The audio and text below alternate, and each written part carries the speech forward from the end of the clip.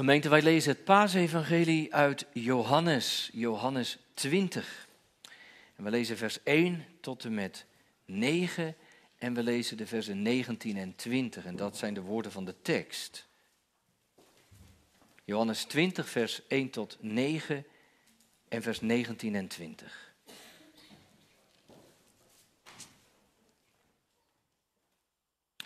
En er komt het woord van God tot ons.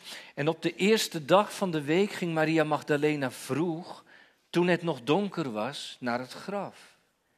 En zij zag dat de steen van het graf afgenomen was. Daarom snelde zij terug en ging naar Simon Petrus en naar de andere discipel die Jezus liefhad. En zei tegen hen, ze hebben de Heer uit het graf weggenomen en wij weten niet waar ze hem gelegd hebben. Petrus dan ging naar buiten en de andere discipel.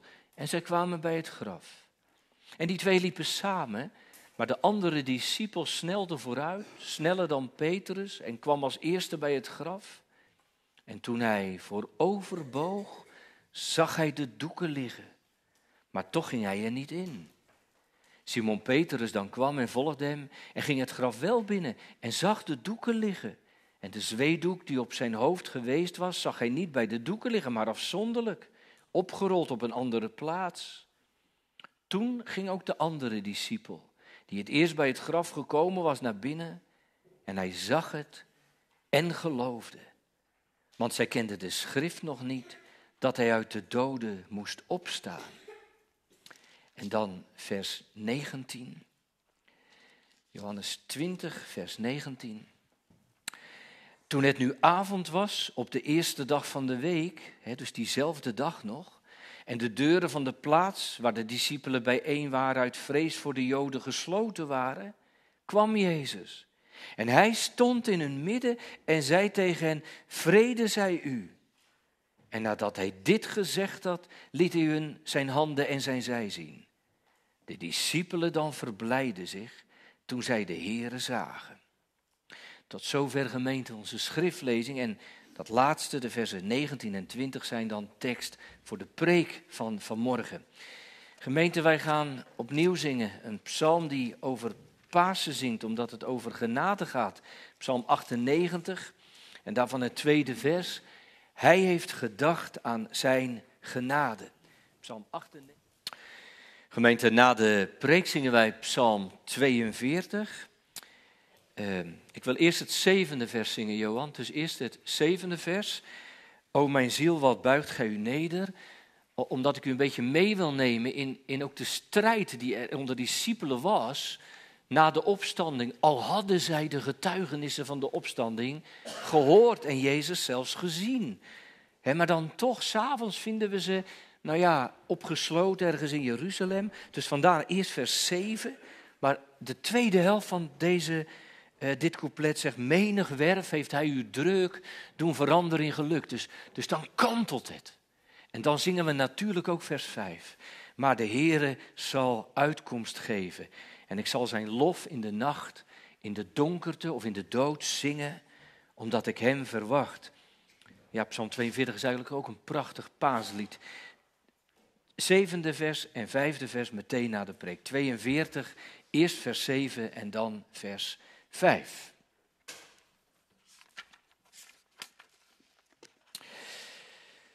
Tekst voor de preekgemeente vindt u dus in Johannes 20, vers 19 en 20. Toen het nu avond was op die eerste dag der week, die eerste dag der week, dus die paasdag, zondag, de eerste dag der week, en de deuren van de plaats waar de discipelen bijeen vergaderd waren, uit vrees voor de Joden gesloten waren, kwam Jezus. En hij stond in hun midden en zei, vrede zij u. En nadat hij dit gezegd had, liet hij hun zijn handen zien en zijn zij. En de discipelen dan verblijden zich toen zij de Here zagen. Gemeente, wat, wat kun je soms wel eens heen en weer geslingerd raken in het geloof, hè? Herkent u dat? Dat, dat je het ene moment er helemaal vol van bent en, en zeker. En de Heer tilt je boven alles uit. En het andere moment ben je bang, onzeker, bezorgd en snap je het allemaal niet meer zo goed. Dat kan toch? Ook op Pasen. Aan de ene kant zing je het uit volle borst. De Heer is waarlijk opgestaan. Nu vangt het nieuwe leven aan. En nu jaagt de dood geen angst meer aan, want, want alles, alles is voldaan. En aan de andere kant bespringen de angst en de vragen je als er weer van alles op je afkomt. Ja, de discipelen die we vandaag in, in een zaaltje in Jeruzalem tegenkomen, die zullen dat misschien wel herkennen. Dat zaaltje gemeente waar ze zitten, zeer waarschijnlijk dezelfde zaal als die van het laatste avondmaal, een bekende plek. En s'avonds op die eerste dag, die paasdag, na die intense, onvoorstelbaar intense dag, hebben ze elkaar opgezocht. Ja, gemeente, een dag, een dag die begon met groot verdriet en gemis. Maar ook een dag die gaandeweg zo'n geweldige wending kreeg. Het graf waar, waarin hun meester begraven was, was leeg. En langzaam maar zeker drongen de getuigenissen door. De Heer is opgestaan. Waarlijk, echt waar. En zelfs de engelen kwamen om die, om die blijde boodschap te onderstrepen. Ja, jongens en meisjes, jullie hebben dat toch ook wel eens? Toch, jongens en meiden, dat je, dat je s'morgens uit bed komt en je bent boos en, en verdrietig. Misschien wel, jongens en meiden, omdat er een dag komt die, die je helemaal niet leuk vindt. Dat kan. En je gaat naar school, je moet naar school. En misschien moet je wel een beetje huilen. Maar, maar dan, dan kom je uit school, smiddags. En, dan ben je weer helemaal blij en vrolijk. En dan, en dan vraagt mama, wat is er met jou gebeurd? En dan zeg je, ja, ik, weet niet. De, de, juf eh, ging mij helpen. En, en al, alle kinderen in de klas waren heel lief voor mij. En, en, en waar je heel erg tegenop had gezien, uiteindelijk was het niet erg. Eigenlijk, jongens en meisjes, hadden de discipelen van de Heer Jezus dat ook. Toch? Ze kwamen hartstikke verdrietig wakker. Ze wilden naar de begraafplaats. Dat snap je toch wel? De Heer Jezus was gestorven en, hij lag in een graf. Ze waren super verdrietig. Maar toen, op die dag, werd alles weer vrolijk. Want de Heer was niet dood, maar, maar hij leefde. Dat is mooi, hè? Dat dingen soms zo veranderen. Gemeente, als de discipelen aan het einde van de dag bij elkaar zijn, dan, dan is de Heer Jezus niet, niet minder dan vier keer inmiddels verschenen, wist u dat? Je zou zeggen, het kon niet op. E-, eerst aan Maria Magdalena. En, en toen aan, aan dat groepje vrouwen. Twee. Toen apart aan Petrus. En, en tenslotte aan die twee mannen op weg naar Emmaus. En allemaal, allemaal kwamen ze het uitjubelen. Hij is opgestaan. Ik, ik heb het zelf uit zijn mond gehoord. Ik, ik heb het met mijn eigen ogen gezien. Ik heb een engel ontmoet. Gemeente, wat, wat moet dat onvoorstelbaar heerlijk zijn geweest. Denkt u niet dat, dat de schellen ze van de ogen vielen en dat het doordrong. Hij is niet dood. Hij leeft. Ja, gemeente, hopelijk, hopelijk kunt u daarover meepraten. Hopelijk kunt u daarover meepraten. Dat, dat de Heer zo nadrukkelijk in uw zondige en schuldige leven kwam. Dat leven, weet u, waarvan de Bijbel zegt het is dood door zonde en misdaden. Maar dat Jezus in dat leven binnenkwam, de levende. En dat Hij tegen je zei, ik leef. En gij zult leven. En gemeente, dat is, dat is als het geloof je raakt, als het evangelie je vult, als Christus in je leven komt. En, en, op die eerste dag der week was dat dus deze mens overkomen.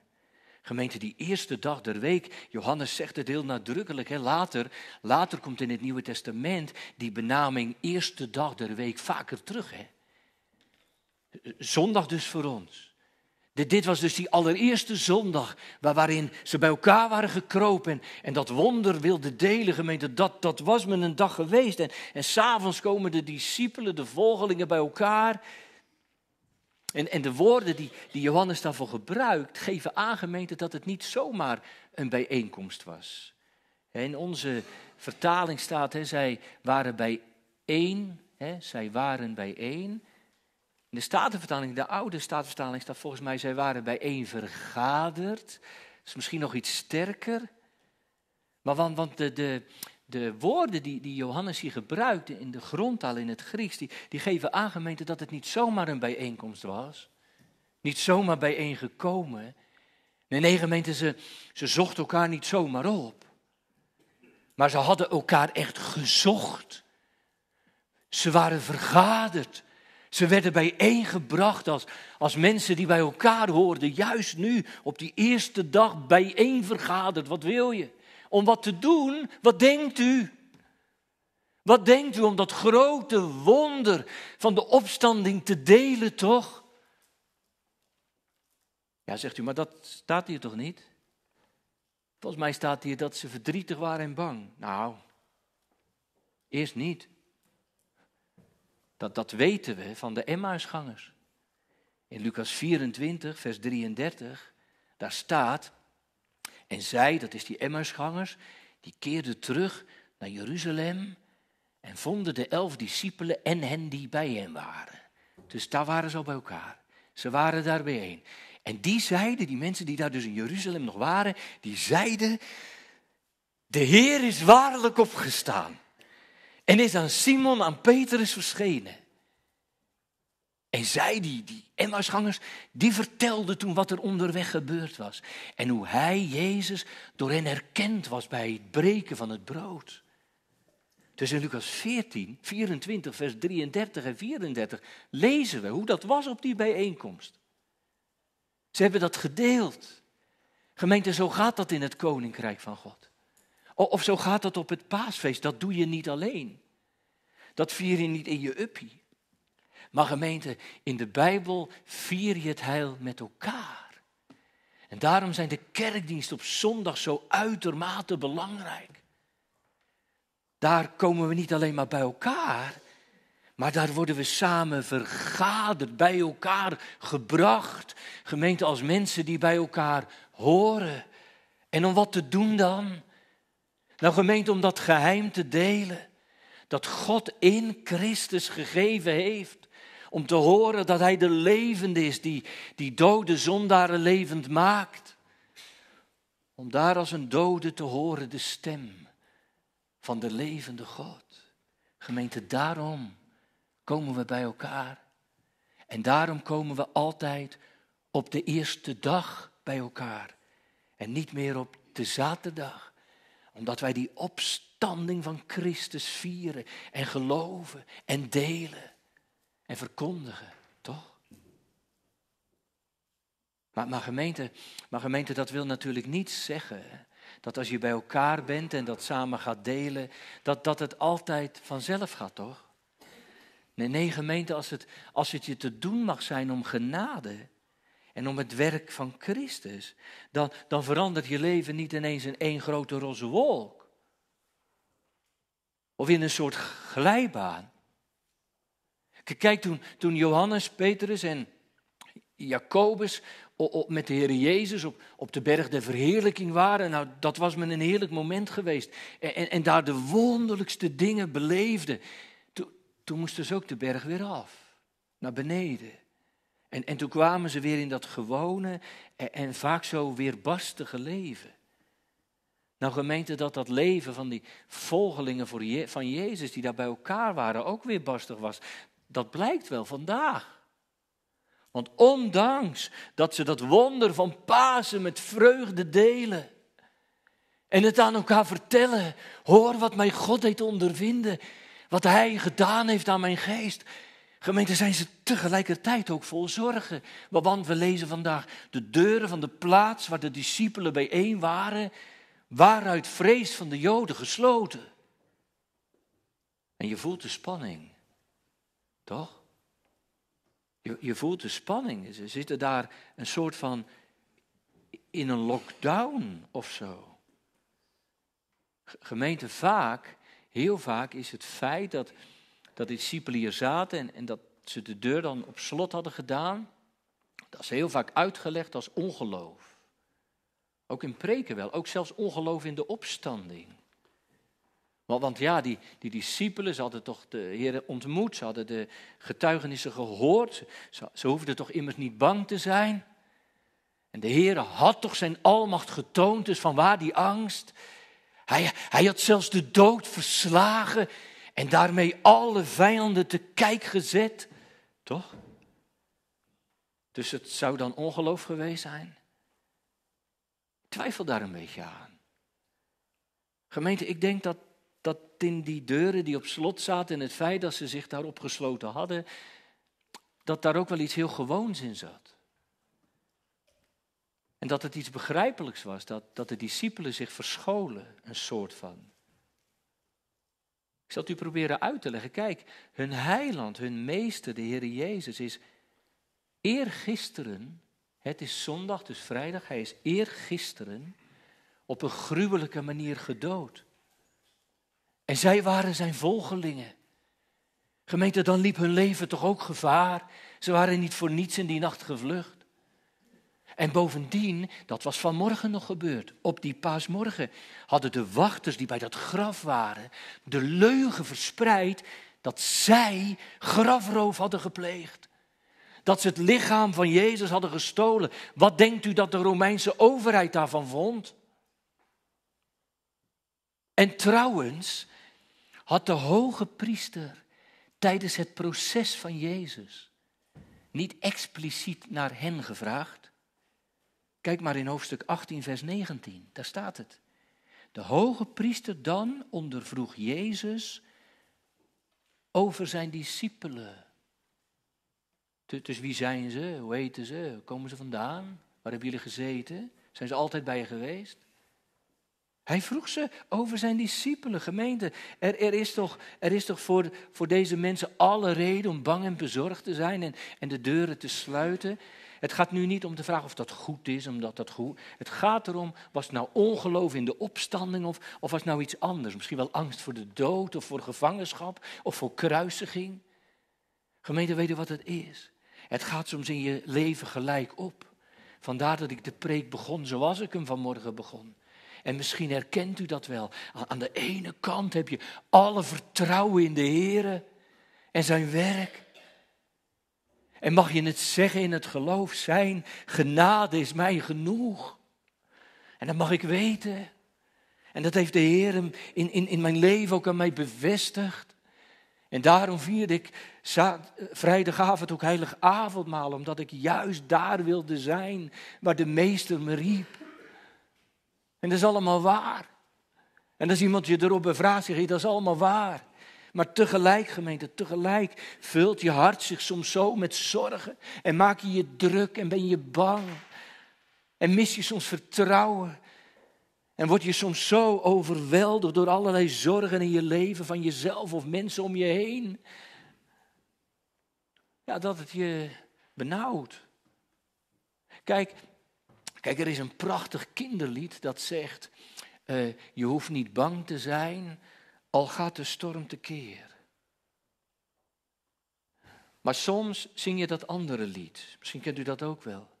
Ik ben een schip in de storm dat de haven niet vindt. Houd mij vast, houd mij vast. Gemeente, soms wint de angst het. En soms zijn de omstandigheden er ook naar. Gemeente, herkent u dat soms, dat er dat er van die barrières in je leven zijn. Misschien wel, misschien wel barrières die je zelf hebt opgeworpen. Herkent u het dan nooit? Dat, dat de angst van de dood je soms zo kan vangen of je je zorgen maakt over je sterven. terwijl Jezus de dood heeft overwonnen? Herkent u dat dan niet? Dat je, dat je niet bang hoeft te, zijn, hoeft te zijn omdat Hij leeft, maar, maar dat het ons strijdt met, met je gevoel of met omstandigheden? Herkent u dat soms niet dan? Dat, dat je soms allerlei ramen en, en deuren in je leven dicht doet en afsluit? Omdat je gewoon bezorgd bent, onzeker, of last hebt van ongeloof en schuld? En soms, soms gemeente gaan de deuren van je leven zelfs dicht vanwege je gezondheid. dan, dan ben je psychisch kwetsbaar en, en je hebt misschien wel een angststoornis of, of je bent soms zo depressief. En je weet het echt wel vandaag. De Heer is waarlijk opgestaan. En je, je, je weet dat het ook echt gebeurd is. En, en dat de Heer ook echt leeft. En, en, tegelijkertijd, gemeente, dan, dan gaan de ramen en deuren dicht. Gemeente, het raakt mij altijd wel. Uit deze, uit deze geschiedenis. Dat de deuren van de plaats waar de discipelen bijeen waren. Uit vrees voor de Joden gesloten waren. Het raakt me wel. Weet u waarom? Omdat ik, me, omdat ik mezelf er soms ook zo in herken. Ja, maar dat mag niet, zegt iemand. Je moet, moet vol zijn van het paasevangelie. Dat ben ik ook. Zeker. Ben ik mee opgestaan. Maar ik ben ook wel blij dat ik Psalm 42 straks mag zingen. O mijn ziel, wat buigt gij u neder, waartoe zijt gij mij ontrust? Want dat ben ik ook. Om daarna te zingen van Hem, voedt het oud vertrouwen weder. Gemeente, soms heb je de werkelijkheid van de veiligheid wel, maar heb je de bril van de helderheid niet. Ik leg het even aan de kinderen uit. Jongens en meisjes, ik zat een keer op een eh, boot, op een bootje, op een heel mooi meer, ergens in België. We waren vakantie en en mevrouw Messenmaker en ik, wij, wij waren een stuk gaan varen. En, en, we waren midden op het meer gegaan. Dat vonden we leuk. Maar, dus we waren wel heel ver uit de kant. Maar, maar ja, jongens, ik voelde me veilig. Want, want we hadden een boot en, en, die was goed opgepompt. En, en we hadden peddels, we konden ook roeien. En, en ik was samen met iemand, met mevrouw Messenmaker. Maar toen ineens, ik weet niet meer hoe het gebeurde, viel mijn bril in het water. Misschien denken jullie nu, is de bril van de dominee gisteren soms ook in het water gevallen? Want heeft de andere bril op. Nee, gisteren is mijn bril gebroken. Maar, dus ik heb andere op. Maar, maar toen viel mijn bril in het water en toen had ik geen andere bij me. En, en jongens en meisjes, misschien heb ik jullie wel eens verteld, maar dan zie ik niks meer. Als ik mijn bril afdoe, dan zie ik niks meer. Dan zie ik jou niet meer nu. Ik zie alleen maar kleurtjes. Ik heb zulke slechte ogen. En, uh, maar ik zat midden op dat meer. En uh, weet je wat ik had gedaan? Mijn bril viel in het water, dus ik sprong eerst nog even uit de boot. Maar ik werd bang, joh, want ik zag de kant niet meer. En, en ik zag niks meer. Ik zag zelfs de peddels niet meer. En ik werd een beetje bang. Maar dat hoefde toch niet? Dat hoefde helemaal niet. De boot was er nog. En mevrouw Messenmaker was er ook nog. Weet je, weet je wat er eigenlijk met mij gebeurde? Een beetje hetzelfde als bij de discipelen. Kijk, de discipelen waren veilig, hè? dat weet je toch? Want de Heer was waarlijk opgestaan. Je zou kunnen zeggen, de Heer Jezus was een soort ark van Noach en daar konden ze in. Ze waren veilig. Hij leefde. Maar, maar de discipelen raakten een soort een bril kwijt. S'avonds. En ze werden een beetje bang. Ze, ze zagen het even allemaal niet meer. Nou, en, en dan ben je wel eens bang. En dat heb jij misschien ook wel eens. Maar, maar je hoeft niet bang te zijn. Al ben je het soms. Weet je, als je nou ook wel eens bang bent, dan, moet je gewoon denken: eh, ik ben alleen het brilletje van mijn hart kwijt. Zul je dat onthouden? Kun, kun je het ervan onthouden? Ik ben eigenlijk alleen mijn brilletje maar kwijt, maar, maar ik ben wel veilig. Gemeente, ze waren hun bril kwijt. En ze konden het even niet zien. En, en, terwijl die discipelen zich zorgen maken en misschien wel angstig om zich heen kijken, gebeurt er plotseling iets heel wonderlijks in die zaal van Jeruzalem. Ineens staat Christus in hun midden. Niet aan de kant, niet, niet van afstand, in hun midden. Als de goede herder der schapen komt hij, komt hij dwars door de gesloten deuren heen. Gemeente, komt de goede herder der schapen zijn verloren volgelingen opzoeken, juist nu. En is hij in hun midden? Weet u waar ik aan denken moest? Ik moest denken aan, aan, de, aan de tabernakel, weet u, die in het, bij het volk van Israël altijd in het midden van het leger was. Want dan was hij het dichtst bij iedereen en Christus in het midden. En, en, hoe kwam hij daar? Hoe, hoe, was hij daar dan ineens gekomen? Gemeente, in, in de geschiedenis en in, in de uitleg van de Bijbel is daar heel veel over nagedacht. Sommigen die, die, die zeggen, ja, maar hij brak het slot als het ware door en, en, de deur ging open en hij wandelde echt gewoon binnen. Net zoals Petrus, weet u wel, in Handelingen 12 is dat, dacht ik, dat hij in de gevangenis zit en, en de deuren open gaan en, en de Heer Jezus daar doorheen loopt. Net als Petrus. Met name Calvijn en zo, die, die vond dat heel belangrijk om dat te zeggen. Omdat, omdat ze zeiden, ja, dan benadruk je dat hij echt lichamelijk aanwezig was.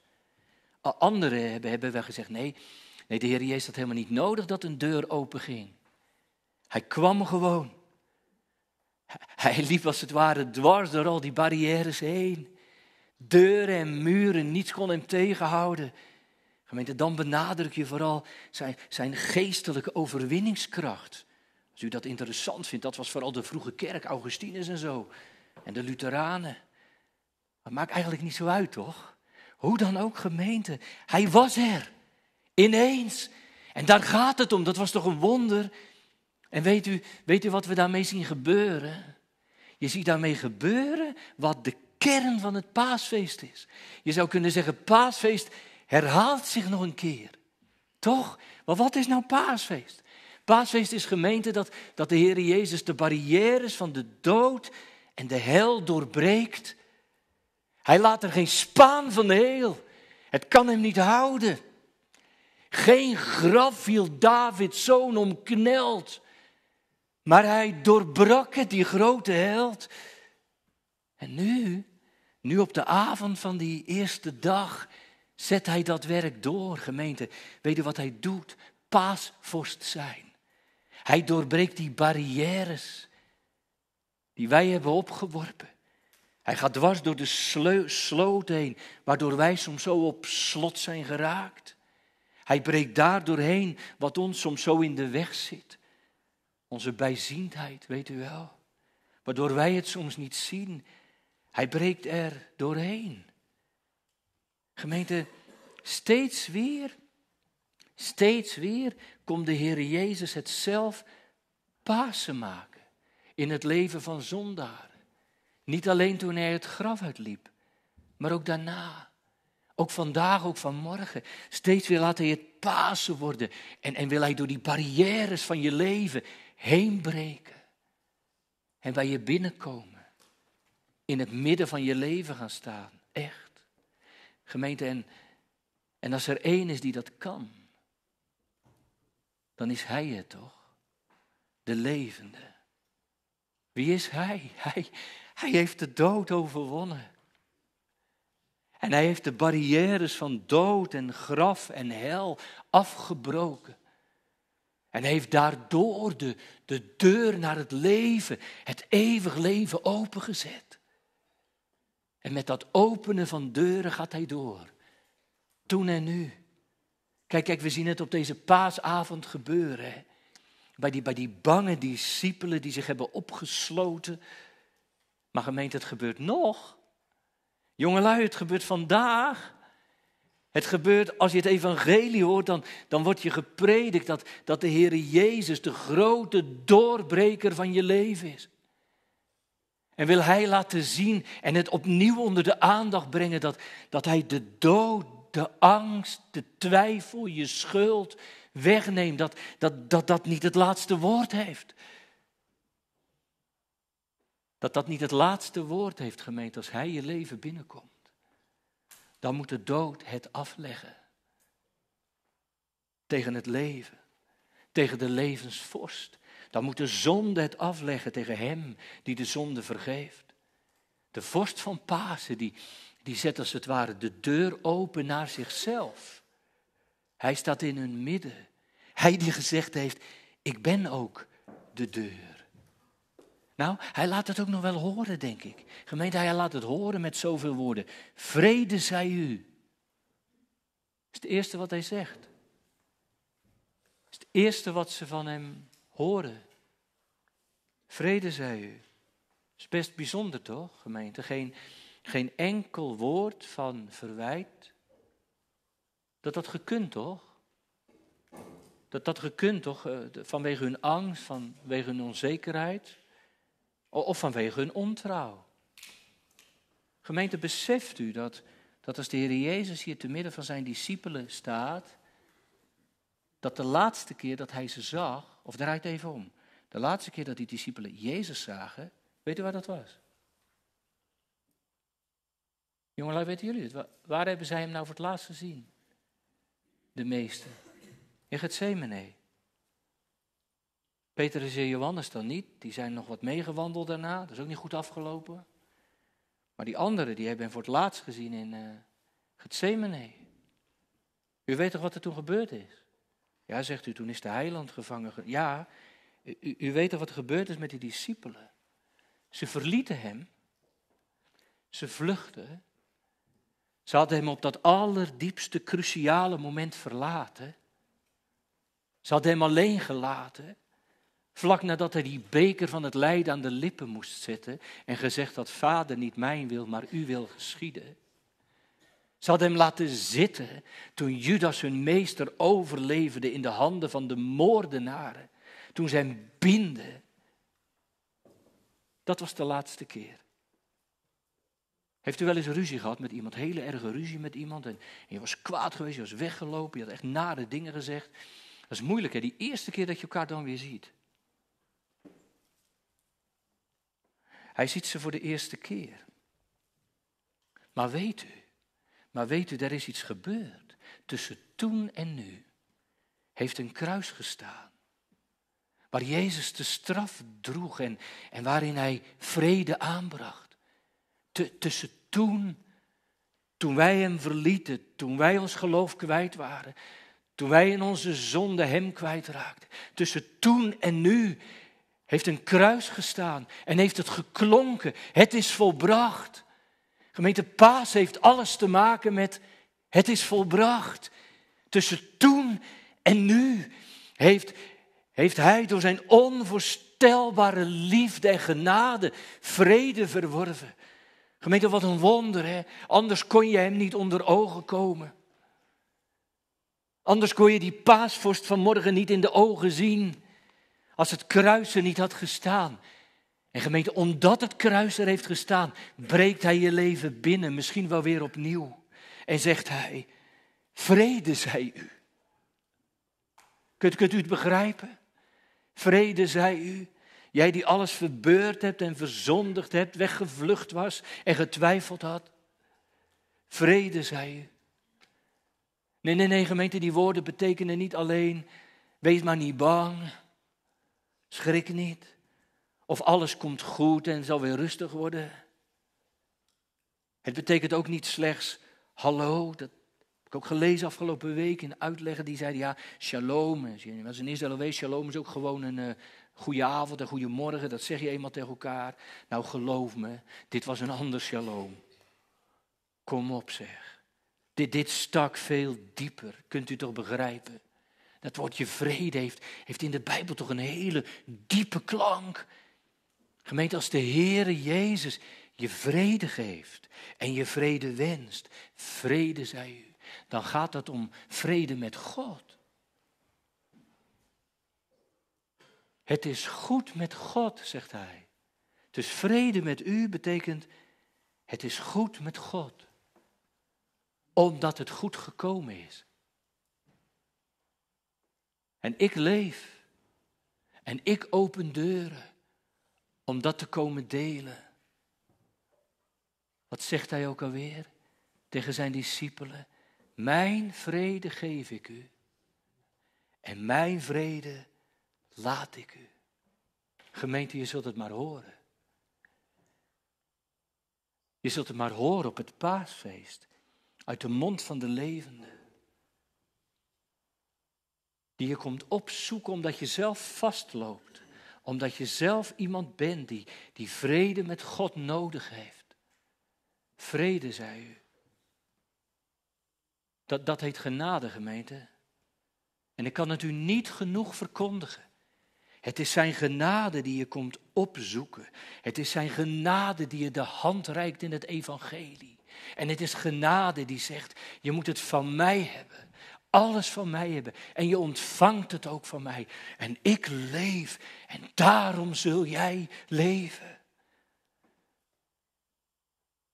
Gemeente, en om de, om de zekerheid daarvan te onderstrepen dat het echt waar is. Laat de Heer Jezus ook zijn, zijn handen zien aan, aan, zijn discipelen hè? En, en, zijn zij. twee tekenen. Gemeente, hij laat aan de ene kant herkenningstekenen zien. Hij laat zien, het is echt waar. Ik ben het. Ik ben de gestorvene. Kijk maar, de gaten in mijn handen en, en, en de wond in mijn zij. Maar, maar, maar het is ook overwinningsteken. Ik was dood. Maar ik ben weder levend geworden. Gemeente, net als in de hemel straks. Hè.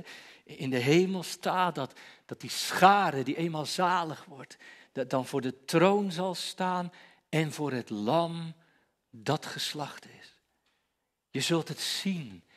Nee, niet, die tekenen van kwetsbaarheid en pijn, maar de tekenen van overwinning over de dood en het lijden.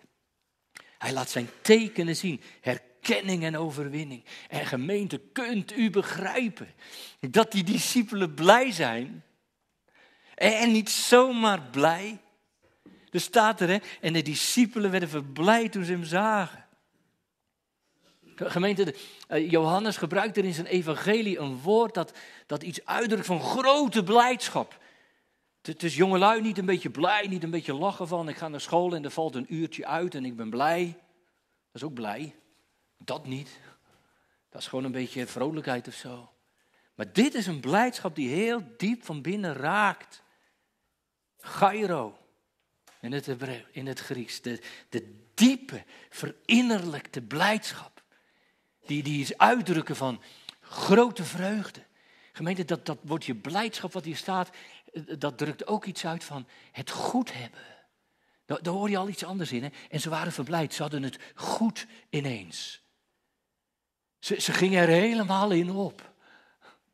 Wat blijdschap smaakt mijn ziel wanneer ik voor u kniel in het huis dat gij u hebt gesticht, uw hemelwoning. Dan, dan kom ik in de kerk en jongelui, dan ben ik blij. Nee, niet omdat het hier allemaal feest is en de slingers hangen. En, dat is niet de blijheid van de kerk. Maar de blijheid van de kerk is dat je daar komt, die de kerk van Christus is, waar de Heer Jezus zichzelf geeft aan zondaren zoals jij zelf ook bent. Die blijdschap, die verdiepte blijdschap. En gemeente, dat gebeurt toch? Dat gebeurt toch als je, als je er iets van ziet? Kijk, als de Heer Jezus in je leven komt, dan gaan er deuren open. En dan geeft Hij vrede. En dan komt er blijdschap, echt waar. Dan komt er hele diepe vreugde, zielenvreugde, die er ook uitkomt. En, en, en, daar werd ook al van geprofeteerd. Hè? Dat is zo mooi aan dit gedeelte, gemeente. Dit gedeelte wat ik met u las, dat wordt geprofeteerd in Jezaja. Jezaja 25, vers 8 en 9. Kijk, daar staat dit. Je, je gelooft bijna je oren niet. Honderden, honderden jaren voordat Jezus opstond. Hij zal de dood voor altijd verslinden. Pasen. De Heere, Heere zal de tranen van alle gezichten afvissen. En de smaad van zijn volk wegnemen, van heel de aarde. Want de Heer heeft het gesproken. En op die dag, Pasen. En op die dag zal men zeggen, zie dit is onze God. En wij hebben hem verwacht. En hij zal ons verlossen. Dit is de Heer. Wij hebben Hem verwacht. En dan dat prachtige slotzinnetje. Wij zullen ons verheugen en verblijden in zijn heil. Ziet u dat? Dan wordt het geprofiteerd. Als Christus opstaat, dan zal hij korte metten maken met de tranen, met de dood. En zij zullen zich verblijden. Trouwens, trouwens, de Heer Jezus had dat zelf ook gezegd. Dat weet u misschien wel. Toen hij met de discipelen sprak over zijn komende lijden en sterven en heen gaan.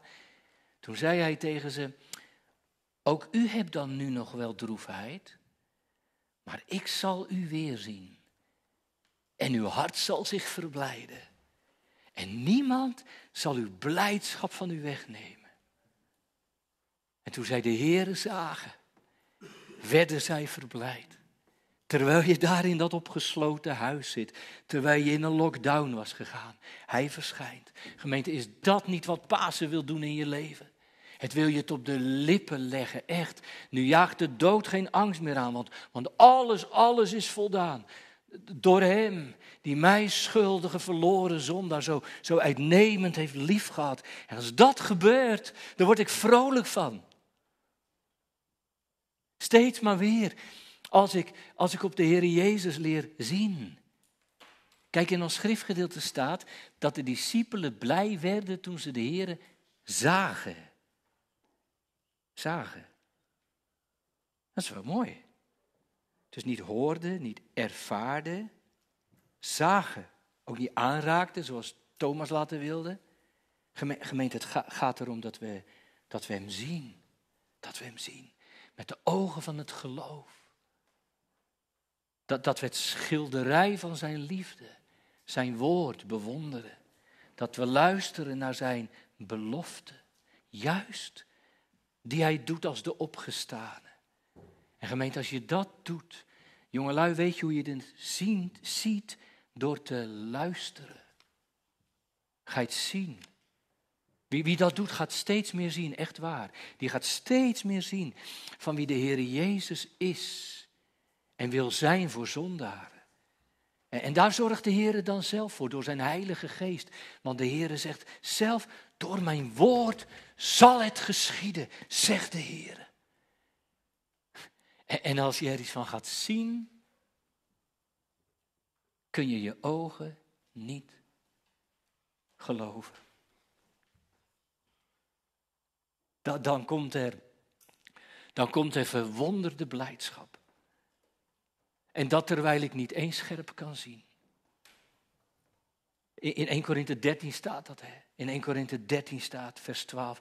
Nu, kijken wij nog door middel van een spiegel, in een raadsel, in een duistere reden. Maar dan zullen wij zien aangezicht tot aangezicht. Nu ken ik ten dele, maar dan zal ik kennen zoals ik ook gekend ben. Gemeente, hier, hier zie ik nog in een wazige spiegel. Maar als ik dan soms hier en nu, soms al zoveel vreugde ervaren, bij het zien van Christus, bij het horen van zijn naam, als God door zijn geest het in mijn hart legt. Als ik hier al zo blij ben, hoe moet het dan straks zijn?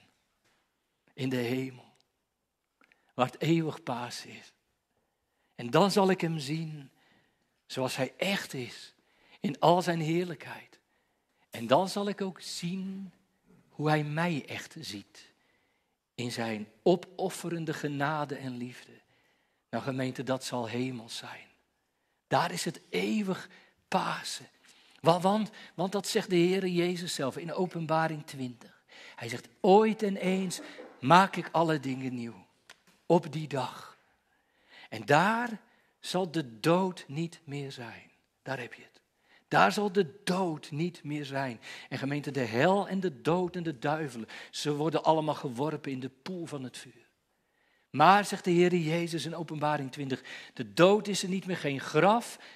En daar zullen alle tranen van je ogen worden afgewist. Gemeente, wat een vreugde zal dat zijn. En op het paasfeest steekt de Heer Jezus zelf het vuurtje aan. Ook in ons midden, ook vandaag.